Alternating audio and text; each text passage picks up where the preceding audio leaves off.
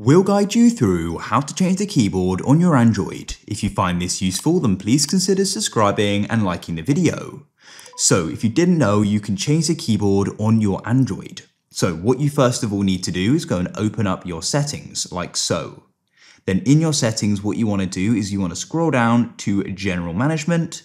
And in here, you then want to go and click on keyboard list and default. If you're struggling to find this though, you can use the search tool in the top right try searching for language or even just keyboard, and we can then go and click on it.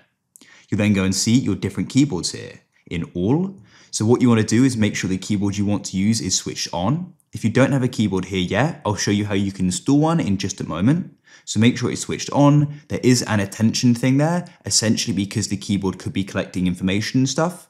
And to actually change the default keyboard, click on default keyboard, and you can then select the one you want to use. So for example, let's say I want to change it to Gboard. I've now done that. Now, when I go and open up my keyboard, I'm going to be using the Gboard, as you can see. Now, if you want to go and get a keyboard, all you need to do is go and open up the Play Store, and what you can then do is search for it. So for example, you could go and get the Gboard, which is Google's keyboard. I have it here, um, and there it is. What you can then do is you can, after you've got it downloaded and installed, you should be able to go and switch to it in those settings we were just in here um, you can go and select the default keyboard and make sure it's switched on there. In some keyboard apps, they're also going to guide you through how to set it up. For example, Gboard will actually do it sort of step by step with you.